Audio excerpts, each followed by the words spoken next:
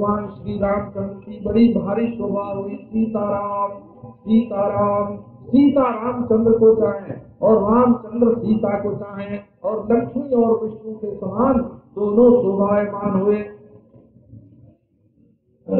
लीन एवं प्रतिबिंबित टीकाकार ने भूषण में सीताराम के स्वरूप का वर्णन करते हुए लिखा है कि सीता जी रामचंद्र जी के हृदय में ऐसी थी, जैसे कोई जा करके छिप जाए, लीने छिपी हुई सीता। ऐसी रहती थी, जैसे प्रतिबिंब पड़ रहा हो राम के हृदय में।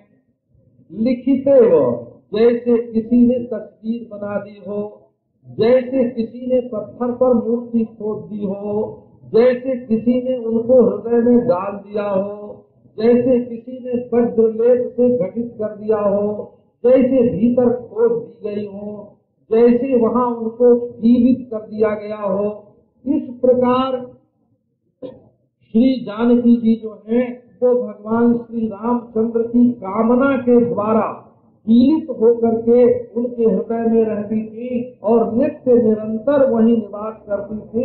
इस प्रकार सीता रामचंद्र अयोध्या जी में विहार करने लगे। अब ये प्रसंग आज नहीं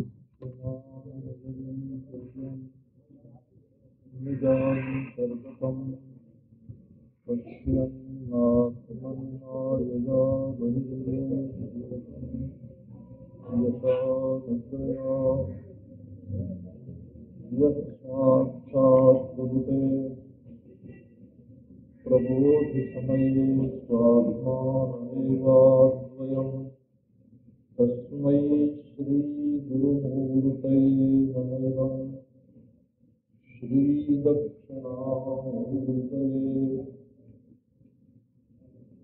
यत्किञ्चित् वास्तु वस्तु प्रणमत कृतिनो ज्ञानतो ज्ञानतो वा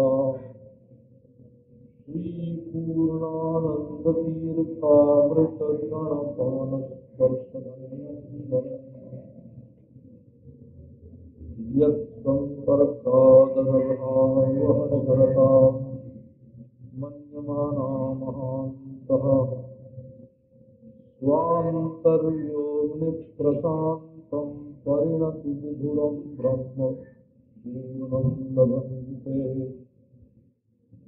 स्वान्तर्योनिप्रशान्तम् परिणति विधुरम् ब्रह्म पूर्णम्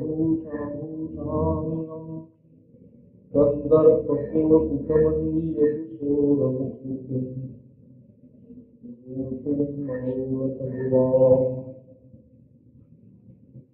श्रीपादलद्युतिपदम् श्रीरामाय रामभद्राय रामचन्द्राय वेदसे रघुनाथाय नाथाय सीताय पतये नमः।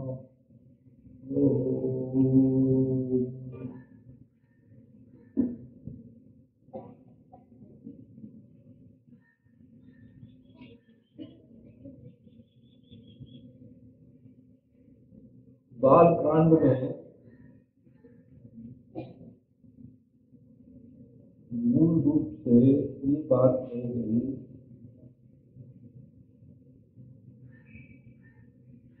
कि स्वयं नारायण, विष्णु, भगवान राम, यही जगत के कारण।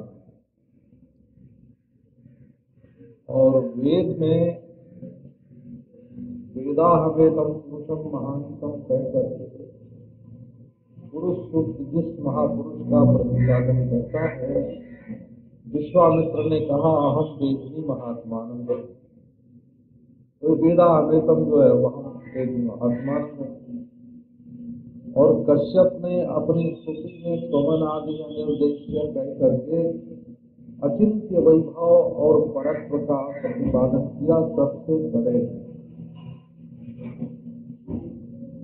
और सब देवताओं से बड़े भगवान हैं। ये अधिकम मेरे विष्णु, ये भी स्पष्ट है।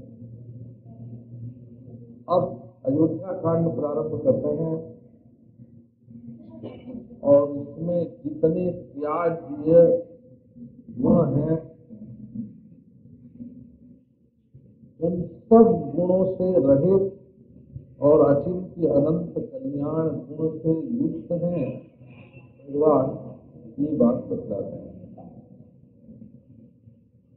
पहले कांड में जहाँ ये बताया कि रामायण के जो नायक हैं, वे बड़े उत्तम कुल में पैदा हुए हैं। श्रेष्ठ गुरु की कृपा उनको प्राप्त हुई है। धनुर्वेद के रहस्य को जानते हैं और ताटका ताटके मारीच आदि जो पिंड डालने वाले हैं, उनका दर्शन करते हैं। शंकर जी के धनुष को तोड़ते हैं, परशुराम जी के हाथों से वैष्णव धनुष को ले लेते हैं। इन सब विशेषताओं से और सहचारिणी, सहधर्मचारिणी श्री सीता जी से संयोग होता है। ये सब बात बताई।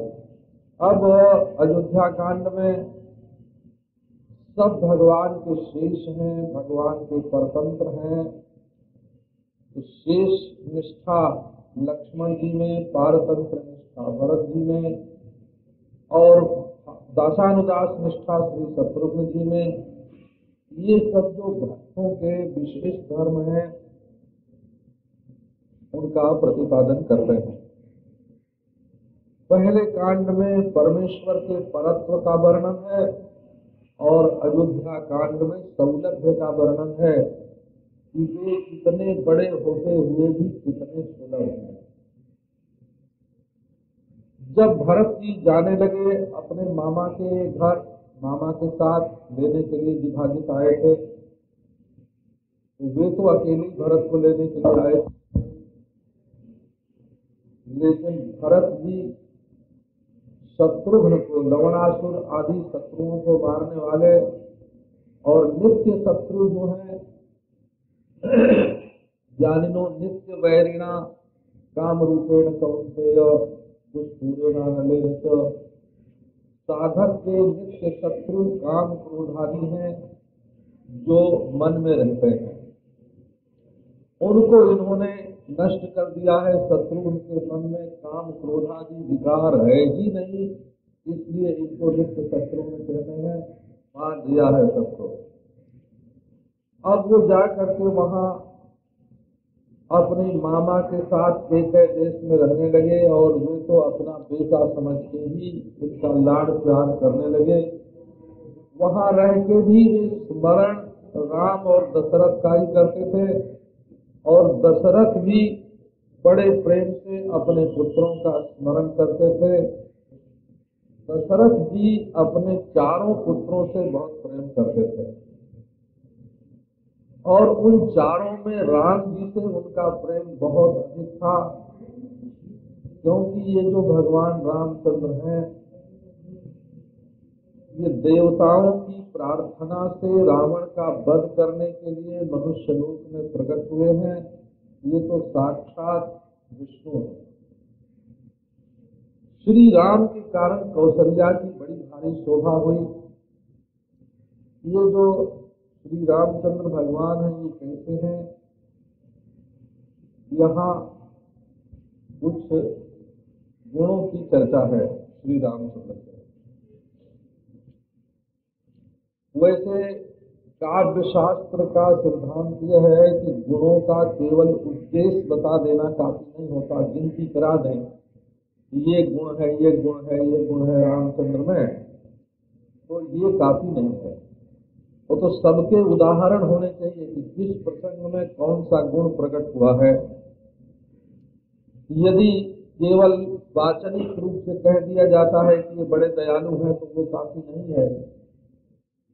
वो गीत का प्रसंग आने पर मालूम पड़ता है कि उनके हृदय में कितनी दया है। तो भाई, वो सुशील हैं, उनका शील बहुत ही उत्तम कोटि का है, पर ये बात ऐसे मालूम नहीं पड़ती। जब सबरी का प्रसंग सुनाते हैं, तब मालूम पड़ता है कि वो कितने सुशील हैं। तो केवल प्रतिज्ञा मात्र से गुणों का वर्णन नहीं होता, फिर भी यहाँ एक सूची गुणों की दी हुई है। और वो इसलिए दी हुई है कि आगे जहाँ जहाँ रामचंद्र के चरित्र में प्रसंग आवे, वहाँ समझ लेना चाहिए कि यहाँ किन गुणों का वर्णन है। सही रूपोपन्न वीर जवान अनसूय कहा बड़े सुंदर। इतने सुंदर हैं कि सांप और बिच्छू तक उनको देख करके अपना विष छोड़ देते हैं। जिन्हें निरत मग सांपिन बीछी तजत विषम विष तामस तीछी इतने सुंदर हैं और वीर जवान है। ये जो शंकर जी का धनुष है, उसको तोड़ना, मारिच को एक ही बाण से समुद्र में भेज देना। और अनसूय कहा, कभी किसी में दोष नहीं देखते हैं। रामचंद्र का ये गुण है कि वो किसी में गलती नहीं निकालते हैं। उनकी उपमा दुनिया में किसी को नहीं दी जा सकती। अपने पिता से भी श्रेष्ठ है। सतु नित्यम प्रशांतात्मा मृदु पूर्वम प्रभाषते हमेशा शांत रहते हैं।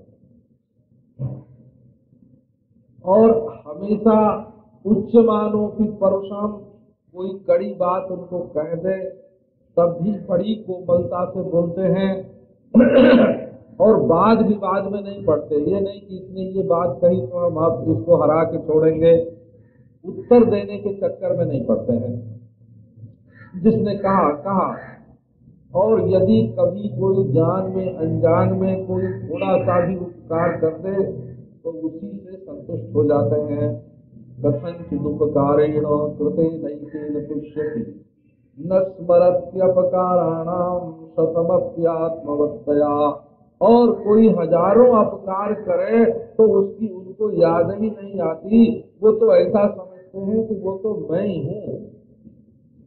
हमेशा, जब जब पाँच मिनट का भी, दस मिनट का भी मौका मिले तो शील वृद्ध, ज्ञान वृद्ध, वयो वृद्ध, शील ज्ञान वृद्ध, ज्ञान वयो वृद्ध वयशील वृद्ध ये तरह तरह से इसका विन्यास कर लेते हैं।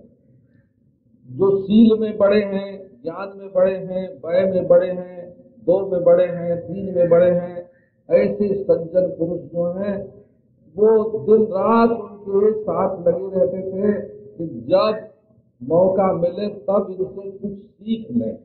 उनसे सीखने के लिए उनके साथ रहते थे।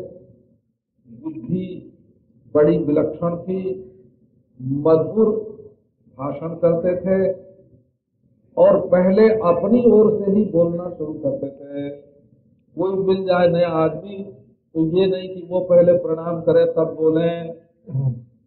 कि कोई पहचान करावे, तब बोले। पूर्व भाषी और हमेशा प्रिय बोलते थे और अपने बल बीज का उनको कोई अभिमान नहीं था।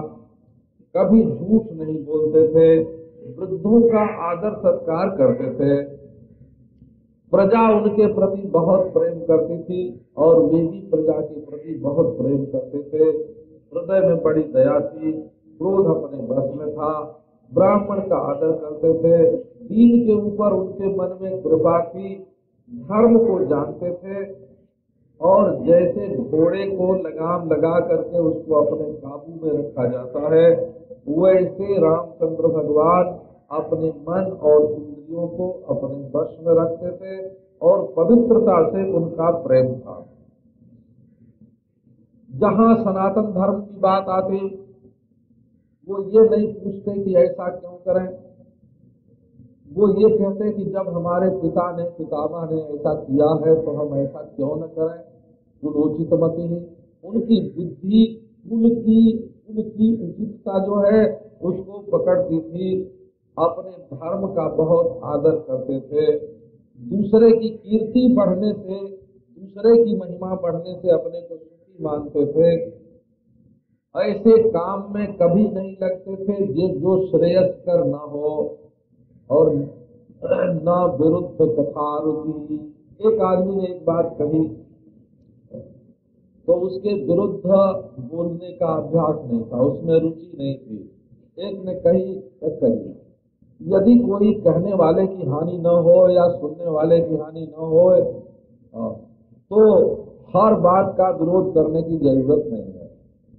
किसी ने कहा कि पाँच बज के उनसठ मिनट हो गए हैं तो दूसरे ने कहा नहीं नहीं छह बज गए अब वो एक मिनट के लिए दूसरे की बात का विरोध करना जो है, उसका कोई अर्थ नहीं होता है, न विरुद्ध कथा रुचि और जब आपस में वाद विवाद हो गए तो एक कक्षा के बाद दूसरी कक्षा बृहस्पति के समान उनको सूझती है। उनके शरीर में कोई रोग नहीं है, अवस्था तरुण है, बड़े वाग्मी हैं, वक्ता बड़े हैं। शरीर बड़ा सुडौल है और किस स्थान में किस समय पर क्या करना चाहिए इसको समझते हैं किसमें कितना बल है ये उनको मालूम है। उनके समान साधु तो वही है। इस तरह से श्रेष्ठ गुणों से युक्त थे भगवान श्री रामचंद्र, और ये तो जैसे राजा दशरथ के बहिष्टर प्राण थे। बहिष्टर माने एक सांस तो वो होती है जो शरीर के भीतर चलती है। ये दूसरी सांस है दशरथ के, जो बाहर चलते हैं, और जैसे श्वास के बिना मनुष्य जीवित नहीं रह सकता, वैसे इनके राम के बिना दशरथ जीवित नहीं रह सकते। फली भांति उन्होंने विद्या गुरुमुख से पढ़ी है, और ब्रह्मचर्य व्रत के स्नातक हैं। सांग वेद सांग वेद के वेदता हैं, और ईश्वर श्रेष्ठ धनुर्वेद में वो अपने पिता दशरथ जी से भी बहुत श्रेष्ठ हैं। उनके आसपास हमेशा कल्याण कल्याण लोग रहते थे और वो कभी दीन नहीं होते थे, सच बोलते थे और सरलता से बात करते थे, कपट से बात नहीं करते थे। जहाँ बातचीत में कपट का प्रवेश हुआ तो वहाँ प्रीति सूख जाती है, विश्वास जहाँ कपट आया, वहाँ विश्वास नष्ट हो जाता है और विश्वास जब नष्ट होता है तो प्रेम तो रहता ही नहीं, क्योंकि प्रेम का बाप विश्वास है। और कपट होता ही इसलिए है कि विश्वास में कमी है। और बड़ों के साथ ऐसा व्यवहार करते, जैसे बड़ा विनय हो, और धर्मार्थदर्शी ब्राह्मण हमेशा उनके साथ रहते वो केवल धर्म को ही समझते हैं उसको बात नहीं। कहीं कहाँ कैसे भोग करना चाहिए और कहाँ कैसे धन कमाना चाहिए, कहाँ कैसे धर्म करना चाहिए, सबको समझते हैं। और ये नहीं कि जानते तो सब है, पर याद नहीं आती है, समय पर याद आ जाती है। और यदि सुनी हुई, देखी हुई बात नहीं भी हो, तब भी उनको सुरना हो जाती है समय पर। और ये लौकिक जो समय आचार है उसको भी उसमें भी बड़े निपुण है।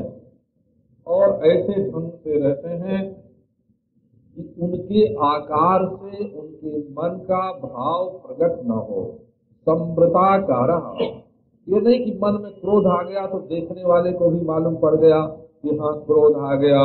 मन में काम आ गया तो मालूम पड़ गया कि काम आ गया। कर नहीं, अपने मन में जो काम करने की इच्छा होती थी, वो उनके सकल से पैदा नहीं होती थी, ये वृता।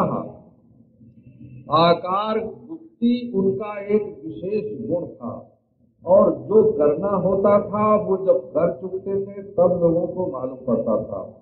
उनके सहायक बहुत थे, और उनका क्रोध और हर्ष कभी व्यर्थ नहीं जाता। माने जिसके ऊपर खुश होते, उसको कुछ देते थे। कोई खुश हो और उसकी सेवा न करे तो उसकी खुशी बेकार गई। और जिसके ऊपर क्रोध करते थे, उसको दंड देते थे, जुर्माना करते थे। नहीं तो वो क्रोध व्यर्थ गया। तो वो व्यर्थ का क्रोध और व्यर्थ का हर्ष नहीं करते थे। और कब मनुष्य को संयम करना चाहिए और कब त्याग करना चाहिए, ये वो जानते थे। उनकी भक्ति दृढ़ थी, प्रज्ञा स्थिर थी, और बुराई को पकड़ के नहीं रखते थे, जिद्दी नहीं थे, आलसी नहीं थे, कभी प्रमाद नहीं करते थे, और वो दोषों को भी समझते थे कि अपने अंदर क्या रहे तो दोष है, और दूसरे में क्या रहे तो दोष है। शास्त्रज्ञ थे, कृतज्ञ थे, और आदमी की शकल देखते ही समझ जाते थे कि इसके भीतर क्या है। कब उसको ग्रहण करना चाहिए, कब उस पर अनुग्रह करना चाहिए, न्याय करने में बड़े निपुण थे। और सत्पुरुषों के अच्छे आदमी को जब देखते, उनको पहचान लेते तो उनको अपने पास रखने की कोशिश करते। और कहा मनुष्य को दंड देना चाहिए, इसको समझते थे। और धन की आमदनी कैसे बढ़े उसका उपाय जानते थे। और कहा कब खर्च करने में कृपणता नहीं करनी चाहिए, इस बात को भी वे समझते थे। और शास्त्र ज्ञान में बड़े ही श्रेष्ठ थे। और नाटक कर्म में भी बड़े निपुण थे। अर्थ और धर्म दोनों का संग्रह करके सुखी होते थे। वे आलसी नहीं थे क्योंकि जिसके मन में आलस्य होगा, वो कभी सुखी नहीं हो सकता। उसको काम करने में, आलसी आदमी को काम करने में स्वाद नहीं आता है। वो अपना रस, अपना स्वाद अलग रख करके काम करता है। इसलिए काम उसके लिए बोझ हो जाता है। वे कारीगरी के भी सब कामों को और काम शास्त्र संबंधी सब विद्याओं को भी वो जानते थे। और बड़े बड़े जो हाथी हैं, घोड़े हैं, उनके ऊपर चढ़ना, उनको काबू में रखना, धनुर्विद्या का प्रयोग करना, अतिरथी थे श्री रामचंद्र। वो दूसरों पर चढ़ाई कर सकते थे, प्रहार कर सकते थे, सेना की रीति नीति को अच्छी तरह समझते थे। उनको युद्ध भूमि में कोई पराजित नहीं कर सकता था। जब देवता दैत्य उनका कुछ बिगाड़ नहीं सकते थे। किसी में कोई दोष न निकालना, क्रोध को बस में रखना, अभिमान न करना मद मत्सर से अलग रहना, और किसी का अपमान हो गए नचाव मनता भूताना न काल बसानुगह किसी प्राणी का अपमान नहीं करते थे रामचंद्र भगवान। और ये नहीं कि जैसी बह बह बयार पीठ पुण्य तैसी कीजिए लोगों की हवा देख करके उसमें बह जाते हैं तो बात नहीं, विचार करके सब काम करते थे। इस प्रकार श्रेष्ठ गुणों से युक्त रामचंद्र थे और पृथ्वी में जैसी क्षमा है, वैसी क्षमा असल में तत्व से मिलने के लिए जो ब्रह्म से एक होना चाहता है चाहता है परमात्मा से। उसको पहले पृथ्वी से एक होकर क्षमा करना पड़ता है। उसको जल से एक होकर के सबको स्वाद देना पड़ता है। उसको अग्नि से होकर के, अप्रदृश्य अग्नि से होकर के, और वायु के समान उसका सब प्राण, सर्वत्र गति उसकी होनी चाहिए। आकाश के समान वो सबको धारण करने वाला होना चाहिए। जब ब्रह्म एक तत्व है, वो कोई कल्पना नहीं है, वो कोई भाव नहीं है तो जिन ठोस तत्वों से जैसे जैसे तादाद में होता जाता है एकता होती जाती है, वैसे वैसे इन तत्वों के गुण जीवन में आते जाते हैं। बुद्धि में वो बृहस्पति के समान थे वीर में इंद्र के समान थे, और सब प्रकार से अपने पिता को वो प्रसन्न करते थे। उनको ये मालूम था कि उनके पिता कैसे प्रसन्न होते हैं तो उनको मालूम था कि जब प्रजा प्रसन्न होगी, तब हमारे पिता प्रसन्न होंगे। इसलिए प्रजा की सेवा करके वे अपने पिता को प्रसन्न करते थे। उनके गुण जो है, वो जगमग जगमग जगमगाते रहते थे। ऐसे सदगुण संपन्न भगवान श्री रामचंद्र को पृथ्वी स्वयं चाहने लगी कि ये हमारे स्वामी हो जाएँ। लोक पालो नाथम अकामयत मेदिनी। स्वयं मेदिनी चाहने लगी कि ये हमारे स्वामी, ये हमारे पति, ये हमारे राजा बने। तो बोले, भाई, पृथ्वी कैसे चाहती है? पृथ्वी तो जड़ है, उसमें इच्छा का उदय कैसे होगा? तो धर्मात्मा लोग कहते हैं कि पृथ्वी देवता है, उसके मन में भी इच्छा होती है। और लौकिक दृष्टि से पृथ्वी शब्द का अर्थ होता है, पृथ्वी में रहने वाले पंचाक्रोशंति की तरह पृथ्वी में रहने वाले मनुष्य सब के सब, सारी जनता, सारी प्रजा चाहने लगी कि राम हमारे स्वामी हो। बड़े बड़े गुण महाराज। अब राजा दशरथ ये देख रहे थे कि इतने गुण संपन्न हमारे राम हैं तो अब उनके मन में एक चिंता हुई, एक इच्छा हुई कि मेरे जीवित रहते ही राम राजा हो जाए, ये कैसे हो सकता है? बस हमारे हृदय में सबसे बड़ी प्रसन्नता की बात यह है कि कदा नाम सुतम रक्ष्याम्यभिषिक्तम प्रियम।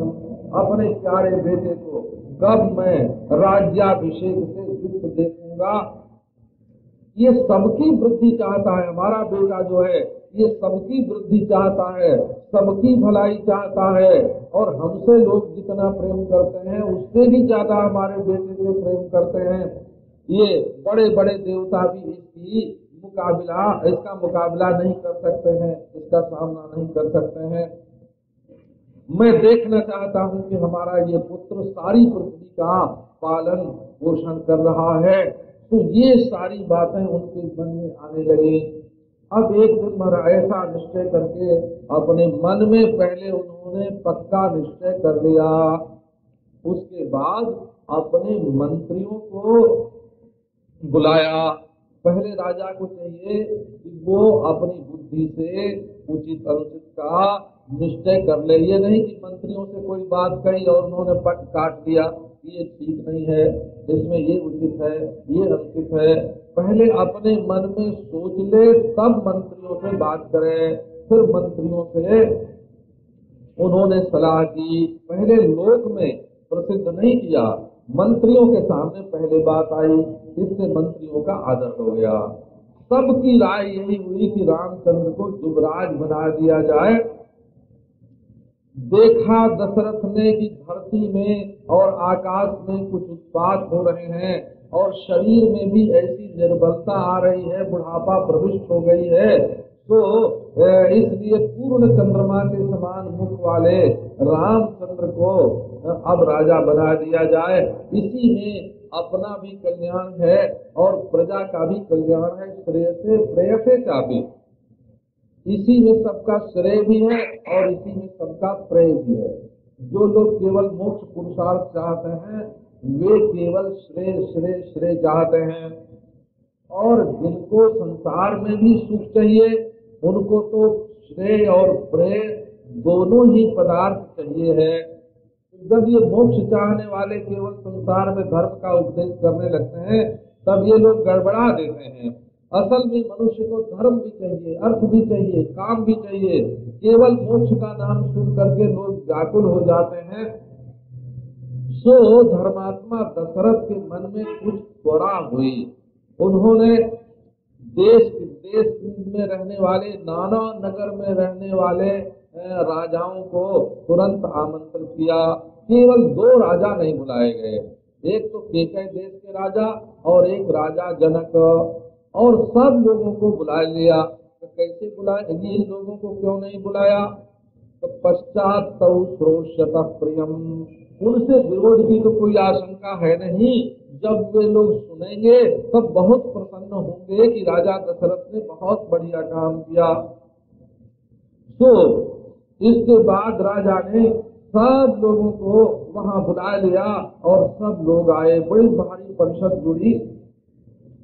सारी सभा के बीच में राजा दशरथ ने गंभीर वाणी से दुंदुभिस्वन कल्पेनो गंभीरेणानुनादिना जैसे दुंदु भी बज रही हो ऐसी दशरथ की आवाज़ थी और मेघ ध्वनि के समान गंभीर थी और उसका उसकी प्रतिध्वनि भी होती थी तो उन्होंने रसयुक्त राज लक्षण राजा जैसे बोलता है, ऐसे बोले।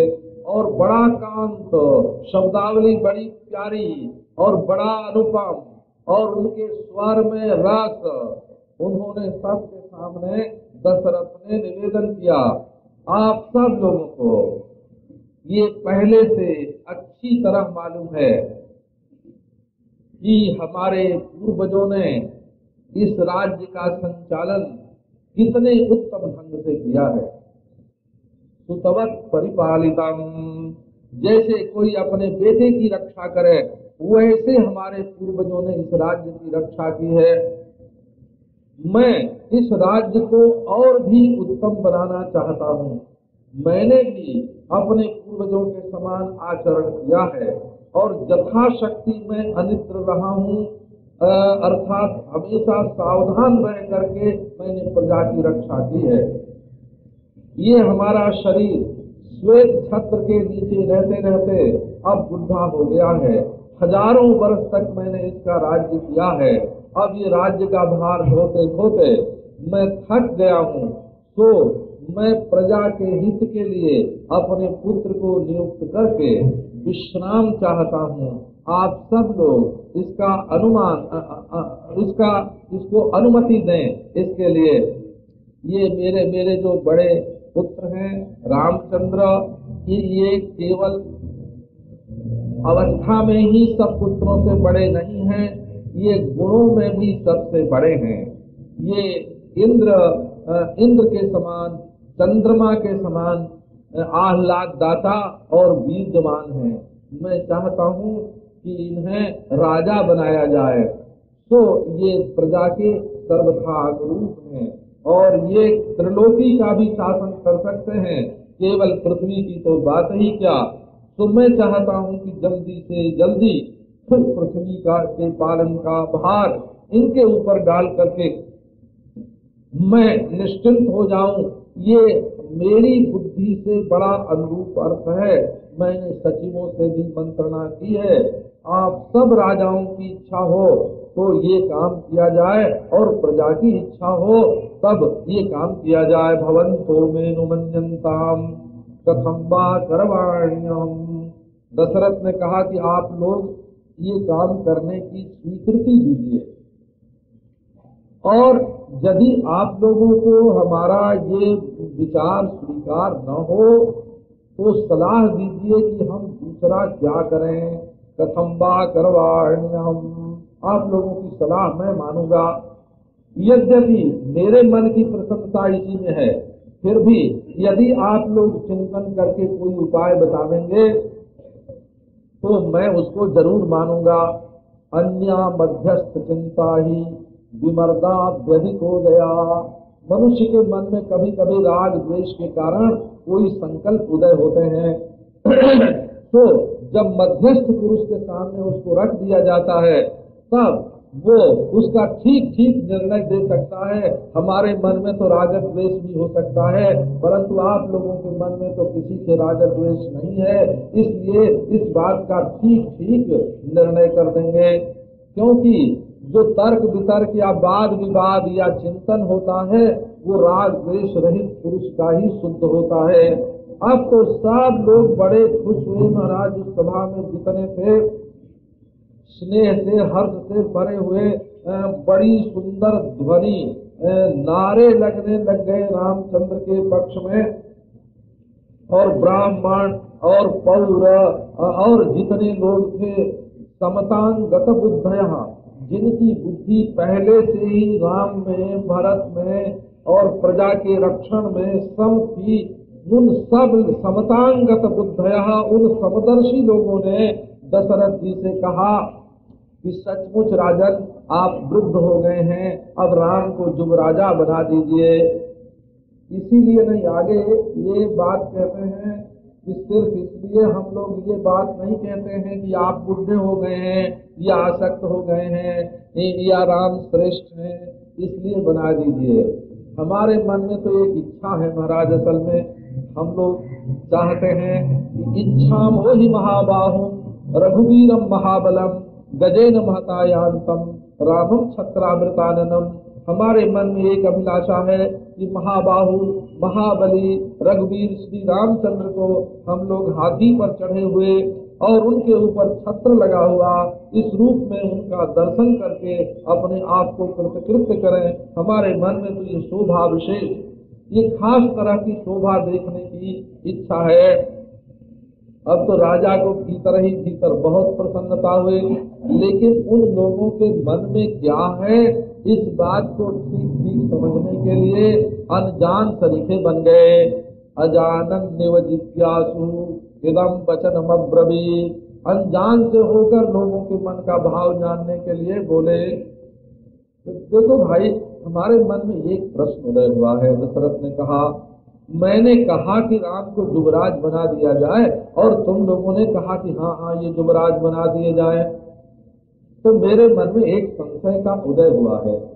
वो संशय ये है कि मैं धर्म के अनुसार पृथ्वी का शासन कर रहा हूँ। मेरे शासन में कोई गलती तो नहीं है? कि मेरी उस गलती को दूर करने के लिए आप लोग रामचंद्र को युवराज के रूप में देखना चाहते हैं? तो बोले, नहीं महाराज, आपके ये जो पुत्र हैं, इनके अंदर तो बड़े बड़े गुण हैं। गुणान गुणवतो देवो देव कल्पस्य ये तुम्हारे बुद्धिमान पुत्र केवल गुणवान ही नहीं है साक्षात देवता है। इनके गुण प्यारे हैं। मनुष्य को अपनी दृष्टि से स्वयं में प्यार नहीं होना चाहिए, जिससे दूसरों को सुख मिले, इस ढंग से रहना चाहिए। इनके गुण प्यारे हैं, आनंद देने वाले हैं। आप हमारे मुँह से थोड़ी सी बात सुनिए। ये दिव्य गुणों में इंद्र के समान है, इनका पराक्रम सत्य है और हम लोगों का कहना यह है इक्ष्वाकुभ्यो की सर्वेभ्यो यतिरिक्त विषाम पते आज तक इक्ष्वाकु वंश में जितने राजा हुए हैं, उन सबसे श्रेष्ठ हैं ये। ये सत्य धर्म परायण सत्पुरुष हैं। धर्म, रामचंद्र को पाकर संतुष्ट हो गया है। अर्थ भी रामचंद्र को पाकर संतुष्ट हो गया है। स्वयं लक्ष्मी इनकी सेवा में है। ये चंद्रमा के समान प्रजा को सुख देते हैं, पृथ्वी के समान क्षमा करते हैं, बृहस्पति के समान बुद्धिमान है, इंद्र के समान बीजवान हैं, धर्मज्ञ सत्य शांत शीलवान, अनसूयु, क्षमावान सांत्विता बड़े सुलक्षण, कृतज्ञ विजित इंद्रिय विजित इंद्रिय है, इतने शीलवान हैं कि अपने बड़प्पन को भूलकर जाकर छोटे लोगों से मिल जाते हैं, उनसे बात करते हैं। तो इनके अंदर किसी किसी प्रकार का दोष नहीं है। शांत, क्षमावान है और आश्रित के अपराध को सहन करते हैं। न केवल अपराधियों के अपराध को सहन करते हैं बल्कि क्रोधी और दुखी प्राणियों को सांत्वना देते हैं और लक्षण समौ लक्षण प्रियम बदऊ हमेशा प्यारा बोलते हैं। इनका स्वभाव बड़ा कोमल है और निश्चय बड़ा दृढ़ है। ये परस्पर विरोधी गुण है, जिसका स्वभाव कोमल होता है, वो झट बदल जाता है, लेकिन इनका निश्चय दृढ़ है। और सदा कल्याणकामी है ये, प्रियवादी हैं, सत्यवादी हैं बहुश्रुत वृद्ध ब्राह्मणों के उपासक हैं। इनकी अतुल कीर्ति और यश बढ़ रही है। देवता और मनुष्य और असुरों में इनके समान सर्वास्त्र विशारद और कोई नहीं है। ये विद्याव्रत स्नात है, सांग वेद वित है और गांधर्व विद्या में भी बड़े निपुण हैं। श्री रामचंद्र जी के समान गाना बजाना दुनिया में और कोई नहीं जानता। गांधर्वेच भूश्रेष्ठो बभू भरताग्रजा। इनके आसपास हमेशा कल्याण कल्याण युक्त मनुष्य निवास करते हैं। ये साधु हैं, दैन्य नहीं है, महाबुद्धि हैं। और अब ब्राह्मण लोगों ने इनको ठीक रास्ते पर चला करके विनयी बनाया है। अपने आप जो विनयी बनता है, उसको अपने विनयी बने का अभिमान होता है कि देखो हम स्वयं में कितने विनयी है। लेकिन इनको तो विद्वानों ने विनयी विनयी बनाया है और धर्म और अर्थ में बड़े निपुण हैं। जिस समय ये युद्ध भूमि में जाते हैं और लक्ष्मण जी के साथ साथ जाते हैं, ये बिना विजय प्राप्त किए लौटते नहीं हैं। और आ करके जब विजय करके लौटते हैं तो ये नहीं कि अपने बड़प्पन में फूल करके घर में बंद हो जाएँ। ये हाथी पर रथ पर चढ़ करके सारे नगर में घूमते हैं। और जैसे अपने लोगों से कुशल मंगल पूछा जाता है, घर के लोगों से, ऐसे ही पराये लोगों से भी पूछते हैं। ये पुत्र, पत्नी, शिष्य, ये सब के साथ जो है, पिता जैसा व्यवहार करता है, वैसा व्यवहार करते हैं। और महात्माओं से प्रश्न करते हैं कि तुम्हारे शिष्य तुम्हारी ठीक ठीक सेवा करते हैं कि नहीं करते हैं? तुम्हारे पुत्र पिता से पूछते हैं, तुम्हारी सेवा ठीक ठीक करते हैं। इस प्रकार रामचंद्र जो है वो किसी को दुखी देख लेते हैं तो स्वयं उसके पास पहुँच जाते हैं। व्यसने मनुष्याणाम वृषम भवति दुखिता। उत्सवे सुच सर्वेशु पितेव परितुष्यते। जब किसी को कोई दुख होता है तो भगवान रामचंद्र उससे भी ज़्यादा दुखी हो जाते हैं कि हाय हाय, मेरे ज़िंदा रहते और ये आदमी दुखी क्यों हो गया? अपनी जिम्मेवारी समझते हैं कि हमारी गलती से ये दुखी हुआ है। ये नहीं कि दुख का जिम्मा उसके ऊपर डाल दें कि इसने ये गलती की, इसलिए दुख हुआ, इसने ये गलती की, इसलिए दुख हुआ। एक और तो बेचारे को दुख हुआ और दूसरे गलती की जिम्मेवारी भी उसके ऊपर डाल दी जाए। रामचंद्र ऐसा नहीं करते। कहते, नहीं नहीं, इसका तो कोई दोष नहीं है। दोष तो ये मेरा है कि इसको दुख हुआ है। और किसी के घर में कोई सुख हो तो जैसे पुत्र के घर में सुख आने पर पिता संतुष्ट होता है, ऐसे रामचंद्र संतुष्ट होते हैं। सत्यवादी महेश्वासो, वृद्ध सेवी जितेंद्रिया। वृद्ध पुरुषों की सेवा करते हैं और उनकी इंद्रियाँ उनके बस में हैं। स्मित पूर्वाभिभाषी च धर्मम सर्वात्मनाश्रिता। मुस्कुराकर सबसे पहले बोलते हैं, और धर्म को कभी नहीं छोड़ते, अपना संपूर्ण जीवन उन्होंने धर्म की सेवा में लगा दिया है।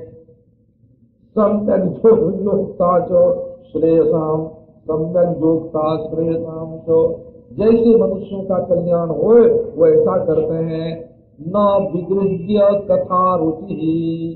तो किसी से बात करते समय हमारा इसका मतभेद हो जाए, ये कोशिश नहीं करते हैं। न विगृह्य कथा रुचि वो हमेशा ये चाहते हैं कि हमारा इसका मत मिले। न विगृह्य कथा रुचि जहाँ तक हो सके अपने मतभेद को ये। हमको एक महात्मा ने एक बार बताया था कि असल में हम लोगों का जितना मिलता है, आजकल जब आपस में बातचीत करते हैं तो ऐसे करते हैं। न्याय की ये बात सांख्य नहीं मानता है सांख्य की ये बात न्याय नहीं मानता है। न्याय सांख्य की ये बात वेदांत नहीं मानता है। और इस तरह की बातचीत करना तुम छोड़ दो। समझने के लिए वो ठीक है, लेकिन बातचीत ही छोड़ दो। तुम ये कहो कि न्याय की ये बात सांख्य को भी मान्य है सांख्य की ये बात न्याय को भी मान्य है। और सांख्य न्याय की ये बात वेदांत को भी मान्य है, उनमें केवल मतभेद ही तो नहीं है ना? मेल मिलाप भी, मतैक्य भी तो बहुत है ना? तो इनसे उनसे ये मतभेद है, इसकी चर्चा करने से मन बिगड़ता है। और विरोधी पार्टियों में भी, विरोधी पार्टियों की चर्चा करनी हो तो उसमें भी देखो, प्रजा की भलाई सब चाहते हैं, राष्ट्र की उन्नति सब चाहते हैं, आर्थिक उन्नति सब चाहते हैं। शैक्षणिक उन्नति सब चाहते हैं तो जो उनमें अच्छाई है, उसकी चर्चा करना चाहिए। जो उनमें बुराई है, उसको छोड़ देना चाहिए। न विद्रुह कथा रुचि ही। किसी के साथ विग्रह नहीं बनाना चाहिए। बातचीत में भी, झूठ मूठ का भी विग्रह नहीं बनाना चाहिए। और जब किसी पदार्थ का निर्णय करना हो तो एक बात निकली, फिर उस पर एक प्रश्न उठा, फिर उसका समाधान निकला, फिर उस पर एक प्रश्न उठा, फिर उसका समाधान निकला। सभी जितने प्रश्न उठे, उनके समाधान की योग्यता होनी चाहिए। कैसी तो बढ़िया भाव है और कैसी रथ नारी आँखें हैं। ये बड़े लोकाभिराम हैं, राम नारायण प्रजा पालन के रहस्य को जानते हैं और कभी राग द्वेष पे अपना पराया, जो अपने अनुकूल हो तो उसकी गंदी चीज़ भी अच्छी लगती है। और जो अपने प्रतिकूल हो उसकी अच्छी चीज़ भी बुरी लगती है। ये क्यों होता है? ये राग द्वेष होने के कारण होता है। रामचंद्र के मन में राग द्वेष बिल्कुल नहीं है। वो सारी त्रिलोकी का अकेले उपभोग कर सकते हैं। उनका क्रोध और प्रसाद निरर्थक नहीं होता है। बद्ध को मारते हैं और जो अबद्ध है उसके ऊपर कभी क्रोध नहीं करते हैं। जिसके ऊपर प्रसन्न होते हैं, उसको बहुत कुछ देते हैं शांत रहते हैं, सबको आनंद देते हैं। ये रामचंद्र में गुण, इतने गुण हैं, इतने गुण हैं, कोई उनका मुकाबला नहीं कर सकता। ऐसे गुण संपन्न है संपन्न है। राम लोकपाल के समान सो सारी पृथ्वी अब इनको अपने पति के रूप में चाहती है, ये तुम्हारे जो पुत्र हैं रामचंद्र। सारे आभ्यंतर भीतरी लोग जो अपने पक्ष के हैं और बाह जमाने जो दूसरे पक्ष के लोग हैं, जो आंतरिक हैं और जो अंतरंग हैं और जो बहिरंग हैं, जो नगर के हैं, जो देहात के हैं और जो स्त्री हैं, वृद्ध हैं, तरुणी हैं वे सब सायंकाल मनाते हैं भगवान से कि हे भगवान, हम अपनी आँख से राम को राजा के रूप में देखें। सो आप कृपा करके इंदी वर्ष्याम श्री रामचंद्र को युवराज के पद पर अभिषिक्त कर दीजिए। इस तरह से महाराज हाथ जोड़ जोड़ करके उस सभा में जो प्रजा है, वो दशरथ से प्रार्थना करने लगी। राजा ने कहा, अच्छी बात है, मैं बहुत प्रसन्न हूँ। क्यों? कि मेरे पुत्र को तुम लोग युवराज बनाना चाहते हो। अन्यत्र, जय मन विच्छेद उत्तराधिक्षेद पराजय। दूसरे को जीतना होता है, लेकिन बेटे से तो जब बाप हार जाता है कि गुणों में, हमारा बेटा सबसे श्रेष्ठ है, विद्या में, बुद्धि में, गुण में तो अपने बेटे की उन्नति देख करके बाप को बड़ी खुशी होती है। अब तो उन्होंने सबका स्वागत सत्कार किया और सबके सामने उन्होंने कहा कि देखो, ये चैत्र का तो महीना है और इसमें वन सब बड़े पुष्पित फूल से खिले हुए हैं। हम समझते हैं कि ये जो बसंत ऋतु है, का ये राम के युवराज बनाने के लिए बहुत श्रेष्ठ है। अब तो चारों ओर से ध्वनि होने लगी, जय हो जय हो, महाराज की जय हो।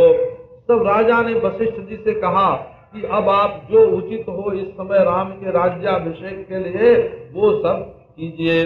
तो वशिष्ठ जी महाराज ने सब लोगों को आशीर्वाद दिया, वो आदेश दिया कि कितना सोना चाहिए, इसके लिए कितने हीरे चाहिए, कैसे कैसे वस्त्र चाहिए, मधु चाहिए, घी चाहिए और राज राज्याभिषेक के लिए चाम और व्यजन ये सब ध्वज, छत्र, ये सब जितनी सामग्री चाहिए, सबका उन्होंने आदेश दे दिया और कह दिया मंत्रियों से कि ब्राह्मणों को आमंत्रित करो, राजाओं को आमंत्रित करो, सब सामग्री जो है वो इकट्ठी करो। किसी भी चीज़ की कमी न रहे और सेना तैयार हो जाए और सबकी रक्षा की व्यवस्था कर दी जाए। ये इस तरह से आदेश दिया वशिष्ठ जी ने। उसके बाद राजा ने सुमंत्र को बुलाया और बोले कि तुम जा करके रामचंद्र को तुरंत यहाँ बुला करके ले आओ। सो तथास्तु कहेगा जैसी आज्ञा महाराज, ऐसा कह करके सुमंत्र रामचंद्र के पास गए। अब वो तो चले गए बुलाने के लिए और इधर राजा दशरथ के पास जितने राजा हैं, प्राच्य पूर्व देश के राजा उदीच्य उत्तर देश के राजा, प्रतीच्य पश्चिम देश के राजा, दक्षिण देश के राजा और म्लेच्छ देश के राजा। और म्लेच्छों के जो आचार्य हैं म्लेच्छाचार्याष्ट जे चान्ने वन शैलांत वासिना राजकाज में ये नहीं देखना चाहिए कि इनकी जाति ये है, कि ये पराये देश के हैं, कि ये म्लेच्छ हैं। राजकाज बिल्कुल ठीक ढंग से चलाना चाहिए। यहाँ तक कि जो वनवासी हैं वे बुलाए गए, जो शैलवासी हैं, वन शैलांतवासी म्लेच्छाचार्याश्च अपने मन में किसी प्रकार की का छोटापन नहीं रखना चाहिए। म्लेच्छाचार्य भी बुलाए गए बड़े बड़े मौल भी लोग जैसे बुलाए गए पादरी लोग बुलाए गए ये जानने अब उस समय तो मौलवी पादरी थे कि नहीं, जो उस समय की व्यवस्था में म्लेच्छ होंगे आज वो सब बुलाए गए, वनवासी, शैलवासी, सब के सब महाराज, दशरथ जी उनके बीच में बड़े शोभायमान हुए, जैसे गंधर्व राजा हो। अब नारायण सब लोग देखें, चंद्रकांता ननम, रामम, अतीव प्रिय दर्शनम चंद्रकांताननम मैंने इसलिए हमारे मामा थे, पंडित चंद्रधर शास्त्री, उनका नाम था मामा लगते थे, सगे मामा नहीं वो काशी विश्वविद्यालय में प्रोफेसर थे, संस्कृत के, साहित्य के तो वो गाते थे। वो वीणा लेकर के, बल्कि विद्यार्थियों को पढ़ाना होता जब अपने घर में तो पहले वीणा लेकर के वाल्मीकि रामायण के श्लोकों को गाते थे और फिर पढ़ाते थे। ये चंद्रकांता ननम रामम, इस पद को मैंने न जाने कितने राग रागनी में गाते हुए सुना है और शब्द इतना ही है, चंद्रकांता ननम रामम। तो महाराज, रूप, उदारता, उनकी ऐसी कि सबकी नज़र खींच ले। सब लोग महाराज, रामचंद्र को आते समय बड़े प्रेम से देखें। सुमंत्र जी ले आए रामचंद्र को और उनको हाथ दे करके और रथ से उतारा। अब वो पिता के समा के पास गए और वहाँ जाकर अपना नाम बताया, मैं आपका पुत्र राम हूँ। और ऐसा कह करके उनके चरणों की वंदना की। और झट दशरथ जी ने उनके दोनों हाथ पकड़ लिए और पकड़ करके अपने हृदय से उनको लगा लिया और राम के लिए उचित ऊँचा आसन दिया उन्होंने। रामचंद्र स्वयं बैठ गए। अब सब लोग रामचंद्र को उस आसन पर बैठे देख करके बहुत प्रसन्न हुए। तो राजा दशरथ ने रामचंद्र से कहा कि तुम मेरी बड़ी पत्नी कौशल्या से पैदा हुए हो और वो मेरे सदृश है और उसके भी तुम सदृश पुत्र उत्पन्न हुए हो, गुणों में श्रेष्ठ हो। और राम,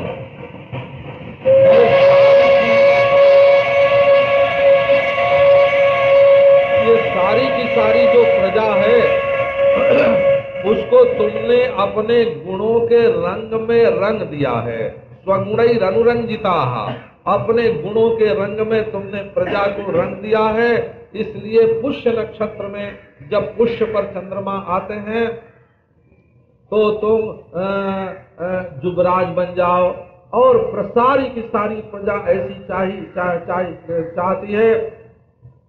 तो अ, मेरे मन में तुम्हारे प्रति बहुत प्रीति है और सारी प्रजा तुमसे प्रीति करती है।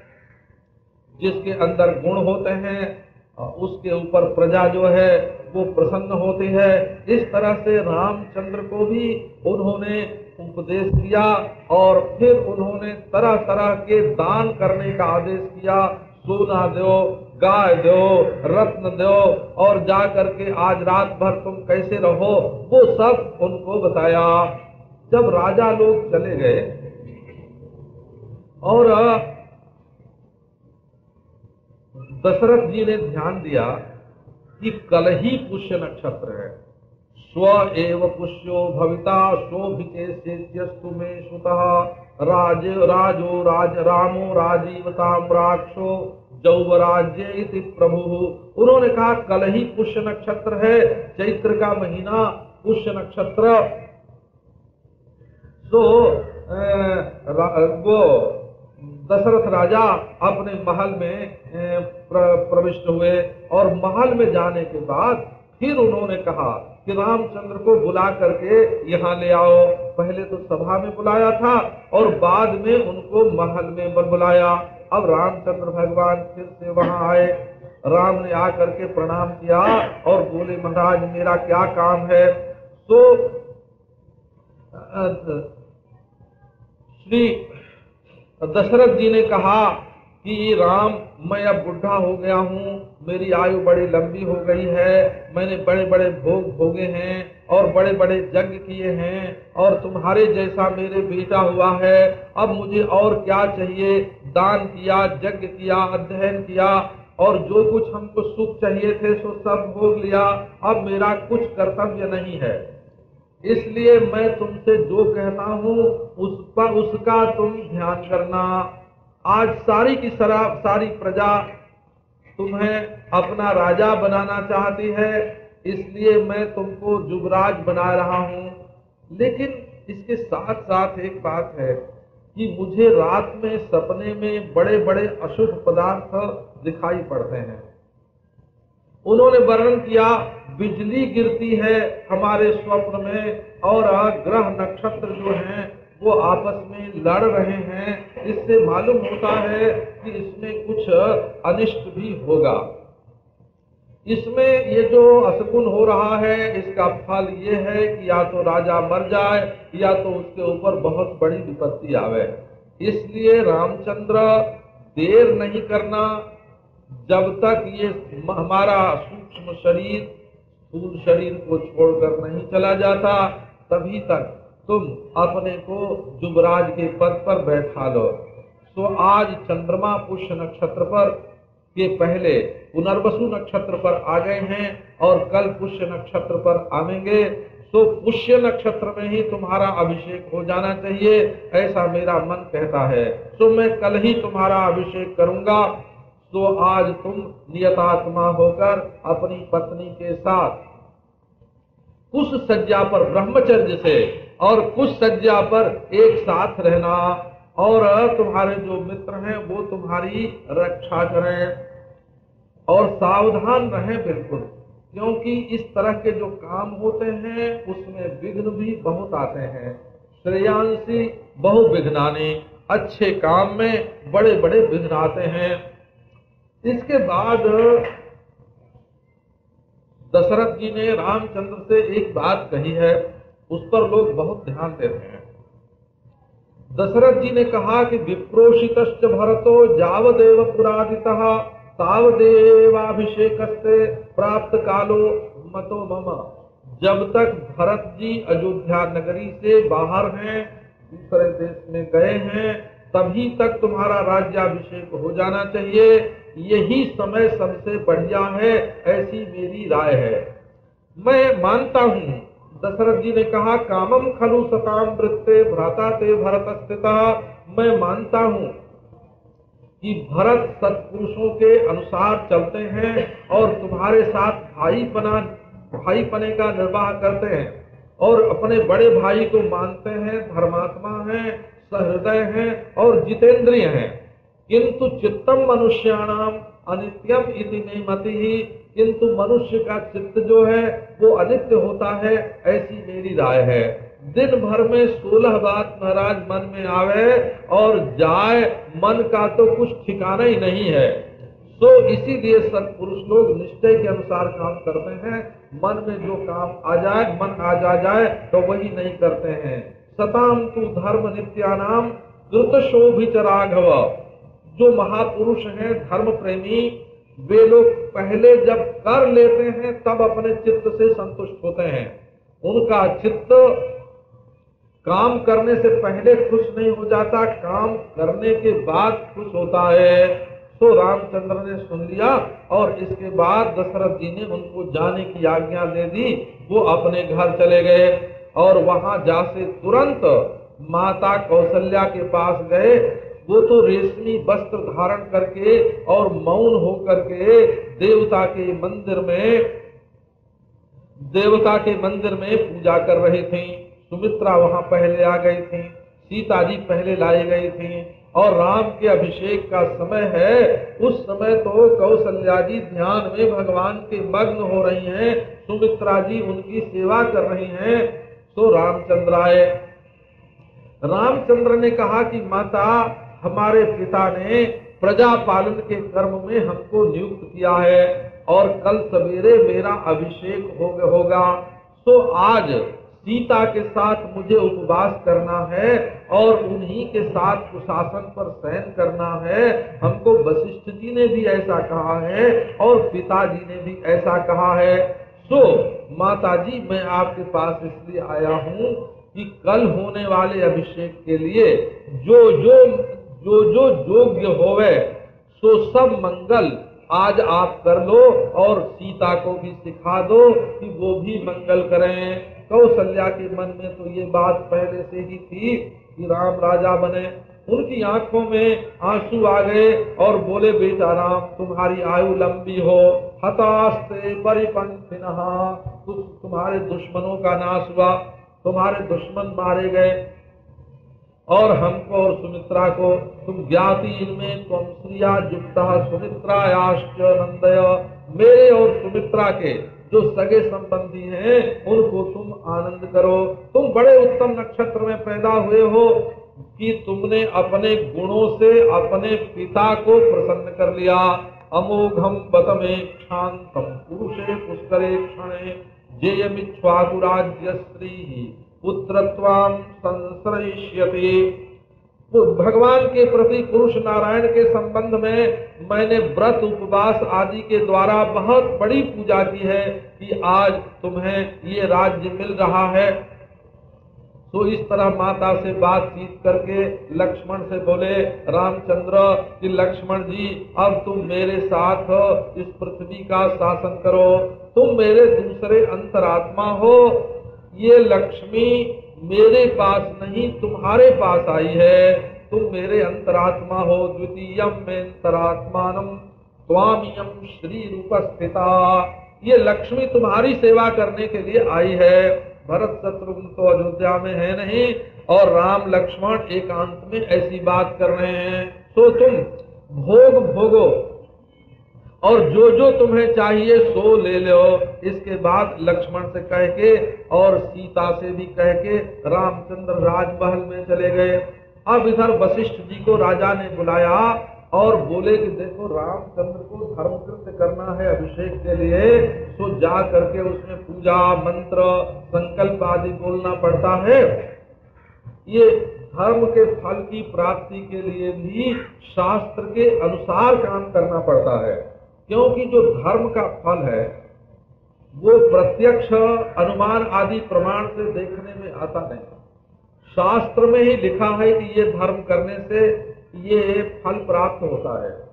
तो शास्त्रोक्त फल की प्राप्ति के लिए जो शास्त्रोक्त धर्म किया जाता है, वो यदि शास्त्रोक्त रीति से नहीं होवे तो वो फलप्रद नहीं होता। मनमाने ढंग से धर्म नहीं किया जाता है, शास्त्रोक्त ढंग से ही धर्म किया जाता है। शास्त्रोक्त फल शास्त्रोक्त रीति से मिलेगा, इसलिए धर्म भी शास्त्रोक्त होना चाहिए। और शास्त्रोक्त धर्म जो है वो शास्त्रोक्त विधि से ही संपन्न होता है, इसलिए शास्त्रोक्त विधि करनी चाहिए। तो तुम जा करके वशिष्ठ जी, श्री यश और राज्य की प्राप्ति के लिए सीता सहित रामचंद्र से उपवास कराओ। अब सो वशिष्ठ जी उनकी आज्ञा सुन करके राम के महल में गए उनसे उपवास करने के लिए। जो राम भवन में वशिष्ठ जी का रथ पहुँचा, बिना रोक टोक वो किसी प्रकार की रोक टोक वशिष्ठ जी के रथ के लिए नहीं थी। तो झट रामचंद्र भगवान आ गए और उन्होंने वशिष्ठ जी को से संभाषण किया, उनको प्रसन्न किया और हाथ पकड़ करके और उनको ले गए। अब पुरोहित वशिष्ठ जी बोले कि राम, तुम्हारे पिता तुम्हारे ऊपर प्रसन्न है और कल प्रातः काल तुम्हारा जौब राज्याभिषेक करने वाले हैं। सो तुम उपवास करो आज और व्रत धारण करो। फिर उन्होंने मंत्र का उच्चारण करके राम और सीता दोनों को व्रत व्रत उपवास में दीक्षित किया और उसके बाद चले आए। और रामचंद्र अपने महल में बैठ करके महाराज, चारों ओर आनंद, जहाँ देखो वहाँ आनंद, सारी अयोध्या जो है वो सजाई जाने लगी। रामचंद्र का महल भी राजा दशरथ के महल के समान ही था। तो वशिष्ठ जी जब वहाँ से निकले तो क्या देखते हैं कि वृंद वृंद अयोध्यायाम राजमार्गा समन्ततः। बभूभुरभिसंबाधा कुतूहल जनैर्वृत मार्ग में जय हो जय हो के नारे लग रहे हैं और झुंड हो झुंड हो, लोग जो है, झुंड के झुंड जो लोग हैं, कब वो राजमार्ग पर खड़े हैं। चारों ओर, और ऐसी भीड़ हो गई है कि वशिष्ठ जी वहाँ से निकल नहीं सकते। जन वृंदोर में संघर्ष हर तथा खूब आवाज़ हो रही और खूब चारों ओर खूब आनंद से अयोध्या जी तो वनमालिनी हो गई है, और उसमें बड़े बड़े झंडे और पताके सब सब लगाए हुए हैं, और बड़े बड़े महल सजाए हुए हैं। चारों तरफ़ बड़ा आनंद मन रहा है। इस प्रकार वशिष्ठ जी तो वहाँ से राम महल से चले आए। और रामचंद्र ने अपनी विशालाक्षी पत्नी सीता के साथ नारायण मुपागमत, नारायण की शरण ग्रहण की। प्रगृह्य सिरसा पात्रीं हविषो विधिवत्तदा उन्होंने महान देवता के लिए होम किया रामचंद्र ने। नारायण देव का ध्यान किया। सहपत नारायणम उपागमत ध्यान नारायणम देवम। स्वास्तीर्णे कुश संस्तरे। मौन हो गए, मन को अपने बस में किया और उस दिन भगवान के मंदिर में उन्होंने शयन किया। श्रीमत्यायतने विष्णो हो शिष्य नरवरात्मजहा उस दिन मंदिर में शयन किया। और जब थोड़ी सी रात, एक पहर रात बाकी रह गई थी, तब उन्होंने घर को महल को अच्छी तरह सजवाया। सूत मंगद मगध बंदी जो हैं, ये उत्तम बातचीत कर रहे और सब लोग जो हैं वो संध्या वंदन के लिए तैयार हैं। अयोध्या में संध्या वंदन सब लोग करते थे हो। और सब लोग प्रणाम और स्तुति करते थे मधुसूदन की। तुष्टाव प्रणतश्चैव शिरसा मधुसूदनम। श्री रामचंद्र भगवान प्रणत हो करके और सिर से सिर से झुका, सिर झुका करके मधुसूदन भगवान को प्रणाम करते थे और रेशमी वस्त्र धारण किए हुए थे। ब्राह्मण लोग पुण्याहवाचन कर रहे थे। पुण्याम पुण्याम पुण्याम। अयोध्या जो है वो बाजे गाजे से भर रही थी। अब अयोध्या वासियों को एक आदमी को मालूम पड़ गया कि प्रातः काल राम का राज्याभिषेक होगा। तो सब लोग पुरी को ऐसा सजाने लगे चतुष्पथ, जितने चौराहे थे, जितनी रथ रथ चलने के जो मार्ग थे, मनुष्यों के चलने के जो मार्ग थे, राजाओं के चलने के जो मार्ग थे और जो बाज़ार थे नाना पढ़ने समृद्ध और जहाँ व्यापारी लोगों की दुकानें लगा करती थी और जहाँ गृहस्थों के गृहस्थों के कुटुंबियों के रहने के लिए जो मार्ग थे, सभा में, जो सभा स्थल थे सब, और जो जगह जगह बगीचे लगाए हुए थे, सब जगह झंडे लगा दिए गए और सबके आनंद से महाराज, बस आपस में लोग राम के अभिषेक की कथा करें। सारा मार्ग, सारा नगर अलंकार से भरा हुआ है। लोग इकट्ठे होकर के कहें कि ये राजा जो है दशरथ ये बड़ा महात्मा है। अहो महात्मा राजायम इक्ष्वाकुल जो वृद्धमात्मान रामम राज्यभिषेक्ष्यते। बड़े बड़े बड़े बड़े राजा तो ऐसे होते हैं, महाराज की बुढ़े हो जाए, मर जाए, लेकिन अपने हाथ से राज्याधिकार दूसरे को नहीं देते हैं। ये तो महात्मा है राजा दशरथ, जो अपने को वृद्ध देख करके राम को युवराज बना रहा है। बड़ी कृपा की इसने हमारे ऊपर कि अब रामचंद्र हमारी रक्षा करेंगे। रामचंद्र के मन में उद्धतपना बिल्कुल नहीं है। अनुद्धतपना अनुद्धत मना विद्वान। धर्मात्मा भ्रातृवत्सला। विद्वान है, धर्मात्मा है, भाई से बहुत प्रेम करते हैं। और अपने भाइयों से जैसा प्रेम करते हैं, वैसे ही हमसे भी प्रेम करते हैं। यथा चो भ्रातृ सुस्निग्धा, तथा स्मा स्वपि राघवा। राजा दशरथ की आयु लंबी होए कि इनकी कृपा से हम राम को आज राजा के रूप में देखेंगे। अब तो महाराज, ये बात फैल गई। नाना दिशा विदिशा से घोड़े पर, हाथी पर, रथ पर बैठ करके देहात के लोग, दूसरे नगरों के लोग आने लगे और सारी अयोध्यापुरी लोगों से भर गई और वहाँ तो कोलाहल मच गया। इस तरह अयोध्या नगरी पूरी तरह से तैयार हो गई भगवान के राम राज्य के, राम राज्य के अभिषेक के लिए। अब उधर देवता लोगों ने एक दूसरी रचना रच दी तो वो क्या रचना रची? तो उनके मन में ये था कि राम अयोध्या के राजा होकर के यहाँ अभी न रहें, पहले रावण का वध करें। इसलिए देवताओं ने मंथरा के मन में एक प्रकार का आवेश उत्पन्न कर दिया। ये मंथरा जो है, उसने भगवान राम के राज्य में विघ्न डाला। ये जन्म से ही दासी थी। माने दासी वंश में ही ये पैदा हुई थी और कैकई के साथ ये मायके से आई थी और वो जो है वही मंथरा महल के ऊँचे हिस्से पर चढ़ गई और वहाँ से उसने पुरी को देखा कि आज तो पुरी में कैसी सजावट हुई है।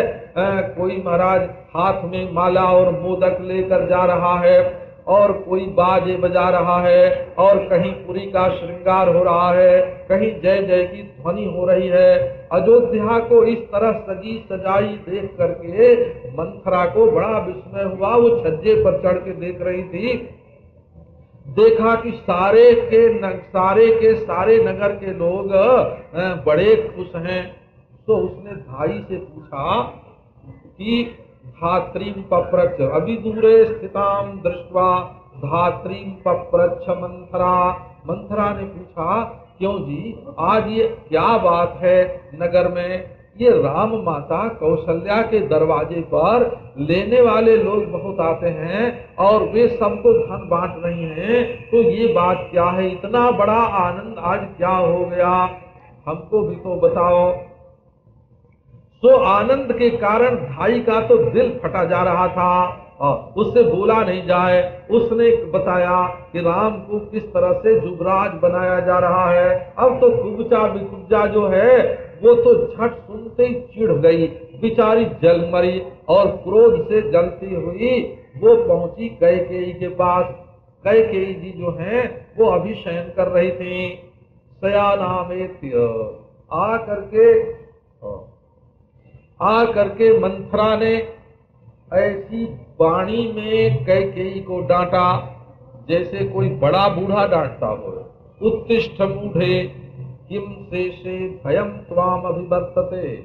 उपप्लुत मघौघे नो किमात्मान अरे मूर्खे, उठ उठ, तेरे ऊपर बड़ा भारी भय आ गया है और तू सो रही है। सारे तेरे पाप अब जग गए हैं और तुमको दुख देने के लिए आए हैं। तो देखो, भरत को तो इन्होंने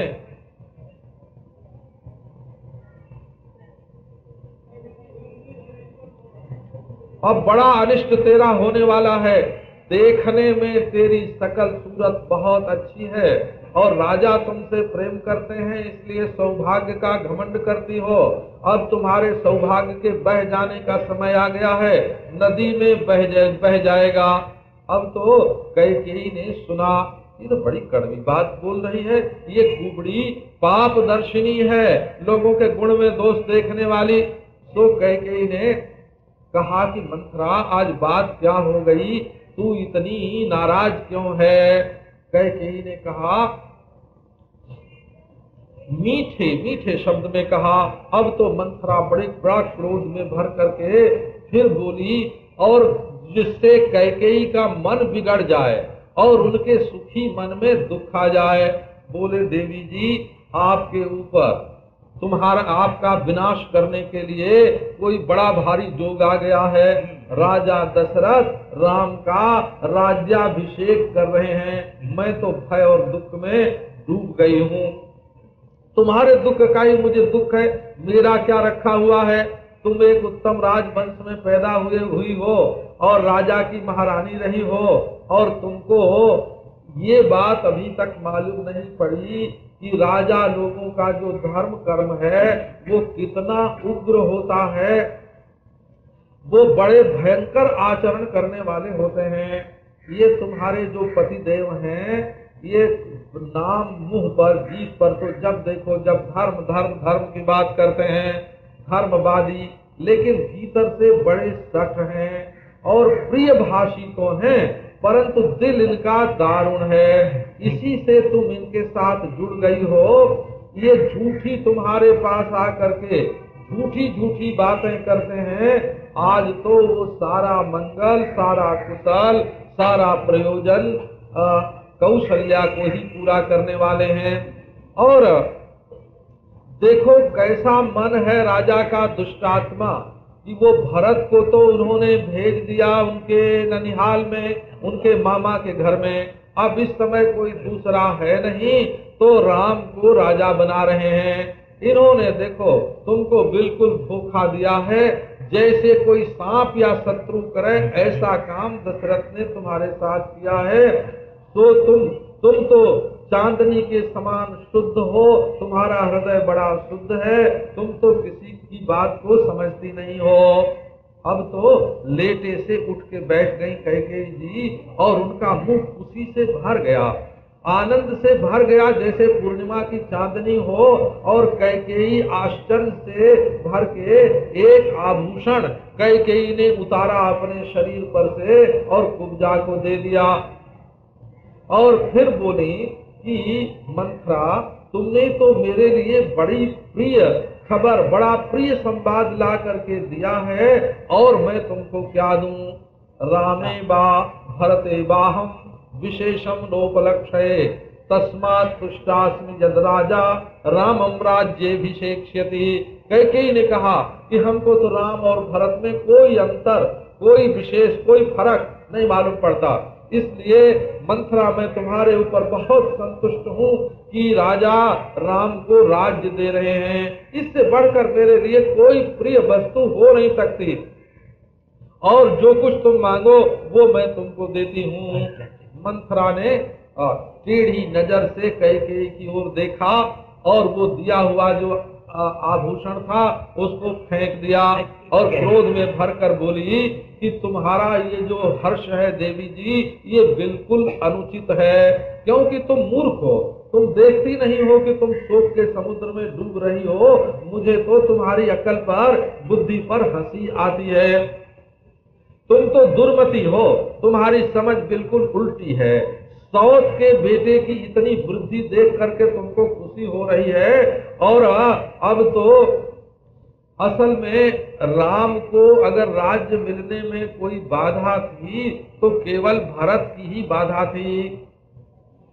रामचंद्र ने भी एक स्थान पर ऐसा कहा है कि हमारे पिताजी ने, हमारे पिताजी ने कैकेयी से विवाह ही इस शर्त पर किया था। ये हमने बचपन में सुना है कि राजा अश्वपति से उन्होंने कैके देश के राजा से ये प्रतिज्ञा करके कि जो कैकेयी का बेटा होगा, उसको हम राजा बनावेंगे। तो देवी जी, तुमको तो कुछ ध्यान नहीं है। अगर राम को राजा होने में कोई बाधा थी तो भरत की बाधा थी। तो भरत को तो उन्होंने भेज दिया और अब दे रहे हैं राज्य। लक्ष्मण तो राम के साथी हैं और शत्रुघ्न भरत के साथ चले गए हैं। इसलिए इसमें हानि यदि किसी की हो रही है तो भरत के हिस्से की ही हानि हो रही है। मैं तो डर से बिल्कुल व्याकुल हो रही हूँ कि अब क्या होगा। तुमको मालूम है, जब राम राजा हो जाएँगे तो कौशल्या महारानी की तरह रहेंगी और कैकेयी जी तुम दासी की तरह रहोगे। और तुम्हारा पुत्र जो है भरत, वो भी एक नौकर की तरह रहेगा।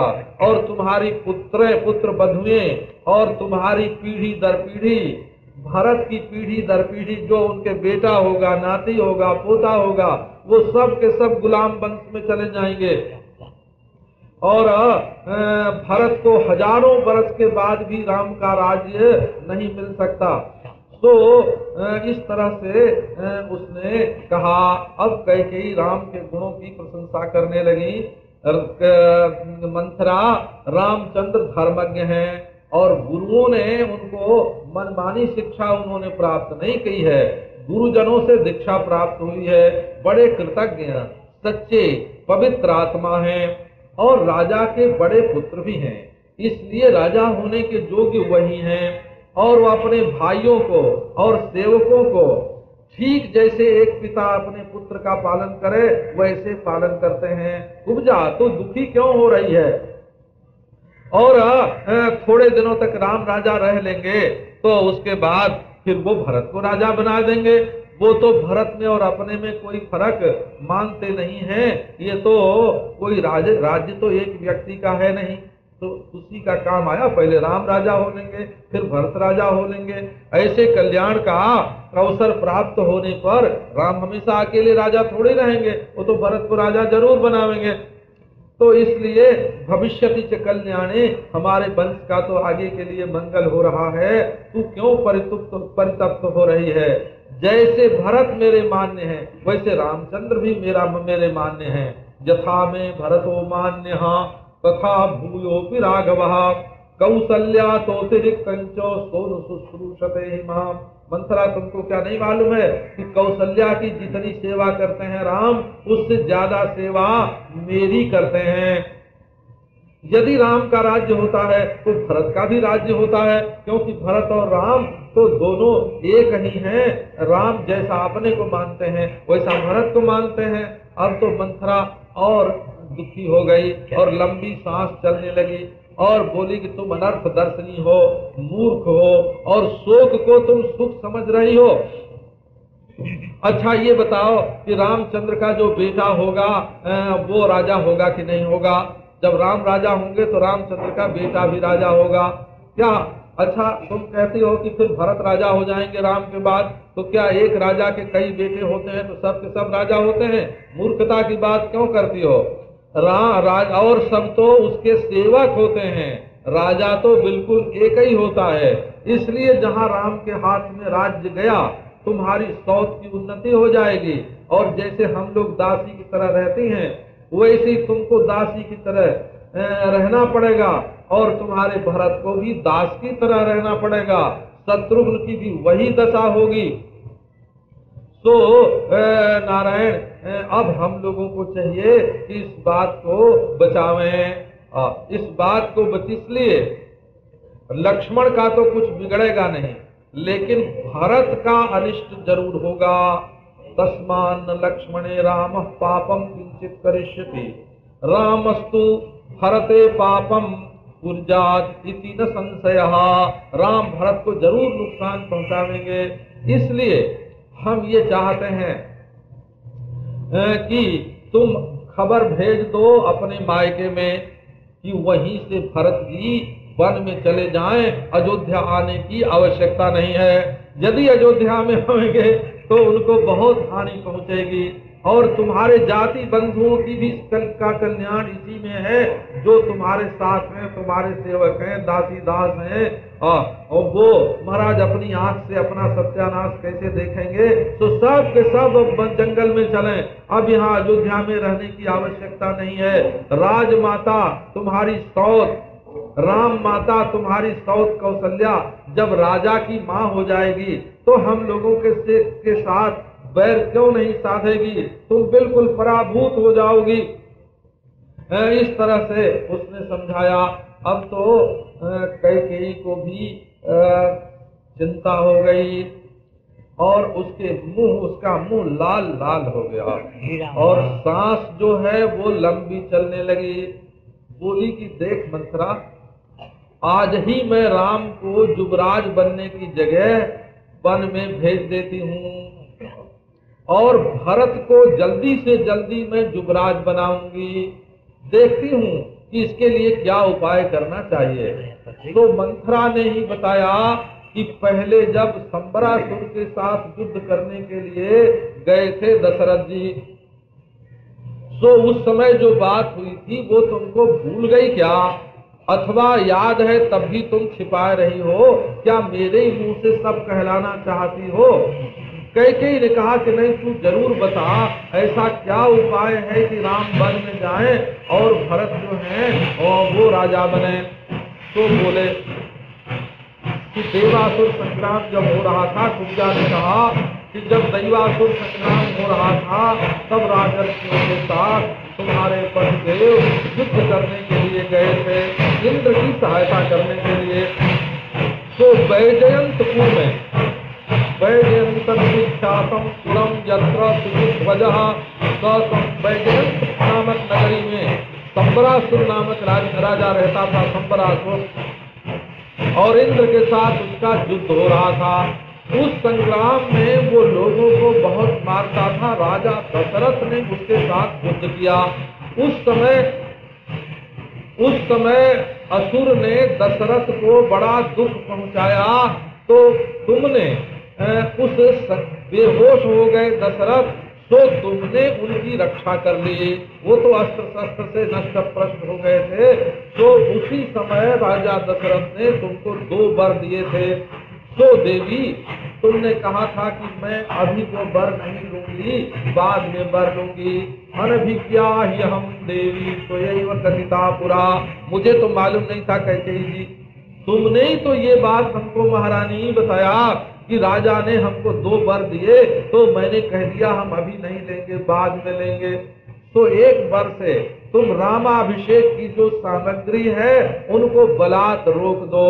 और रामचंद्र को वन, वनवासी बना दो चौदह बरस के लिए। चौदह बरस इसलिए कि जब चौदह बरस राम राज्य से दूर रहेंगे तो चौदह बरस में प्रजा का स्नेह भरत के प्रति स्थिर हो जाएगा तो अभी तुम कोप भवन में जाओ और वहाँ जा करके मैला वस्त्र धारण करके और आभूषण सब फेंक करके और वहाँ पड़ जाओ।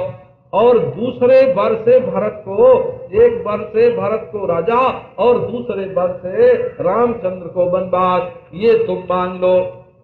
हम जानते हैं कि राजा जो है, वो कामी है। और वो तुमको नाराज़ नहीं करेगा, और वो तुम्हारे लिए प्राण भी छोड़ देगा, और तुम्हारा अतिक्रमण नहीं करेगा। एक बात है कि राजा बहुत सी चीज़ें तुमको देना चाहेगा, परंतु तुम लेना नहीं। जब वो शपथ कर ले, तब उसको तुम बताना और उन दोनों बरों की याद दिलाना। रामम प्रव्राजयारण्ये नव वर्षाणि पंच च भरत क्रियताम राजा पृथिव्या पार्थिवर्षभ। राम वन में जाएँ और भरत राजा हुए। इस तरह से तुम्हारे पुत्र का और तुम्हारा मनोरथ पूरा हो जाएगा और एवं प्रव्राजित रामो अरामो भविष्य तब राम राम नहीं रहेंगे, राम आराम हो जाएँगे। तो इस तरह से उसने अनर्थ को अर्थ के रूप में ग्रहण करा दिया। अब तो कैकेयी बहुत प्रसन्न और मंथरा से बोली कि कई कई तो बड़ा बड़े आश्चर्य में पड़ गई और बोली कि देखो ये मंथरा जो है, ये कितनी बुद्धिमती है। अरे वो कुबड़ी मैं नहीं पहचानती थी तुमको कि तुम इतनी श्रेष्ठ श्रेष्ठा, श्रेष्ठाभिधायिनी हो। ऐसी अच्छी सलाह देती हो तुम और इतनी अच्छी हो तुम। असल में हम तो अब तुम्हें दुनिया में जितनी कुबड़ी हैं, उनके महारानी के पद पर तुम्हारा अभिषेक करते हैं। पृथ्व्याम असिकुब्जानाम उत्तमा बुद्धि निश्चय। और मेरे मेरे, मेरी भलाई में तो तुम हमेशा लगी रहती हो। हमको राजा के मन का पता नहीं था। देखो ना, लोग मन में क्या रखते हैं और ऊपर ऊपर से क्या करते हैं। तो ये जो तुम्हारा, ये जो तुम्हारा बक्षस्थल जो है, ये कुबड़ी होने के कारण नीचे को दबा हुआ है और कंधे की ओर जो ऊंचाई है, वो अवश्य ये तो जैसे कमल सकुचा गया हो, इस प्रकार शरमाए हुए कमल के समान है। जब आदमी का किसी से राग होता है, तब उसमें गुण बुद्धि हो जाती है हो उसकी बुराई भी अच्छाई लगने लगती है। देखो तो तुम्हारी जान कैसी भरी भरी है, और तुम्हारे बक्षस्थल कितने बड़े बड़े हैं, और मुख तुम्हारा कैसा चंद्रमा के समान है। अरे तुम तो बड़ी सुंदर हो। ये कमर पर तुम्हारे गर्दनी कैसे शोभा पाती है? और सब महाराज एक एक अंग का वर्णन करे कि तुम्हारा तो कुब्जा असल में तो तुम बहुत सुंदर हो। जब मनुष्य का किसी के प्रति अनुकूल मन होता है, तब उसमें सुंदरता दिखने लगती है। कि देखो, ये माला तुमको सोने की मैं अभी देती हूँ। और जब भरत का अभिषेक हो जाएगा और रामचंद्र वन में जाएँगे तो बहुत बढ़िया सोना से, तपाए हुए सोना से तुम्हारा मैं आभूषण बनवा दूँगा। और तुम्हारे लिए तुम्हारे मुख पर तिलक, चित्र बिंदी सोने की बिंदी बना करके लगाऊँगी और शुभ आभरण दूँगी और अच्छे वस्त्र धारण करा के देवता की तरह रखूँगी।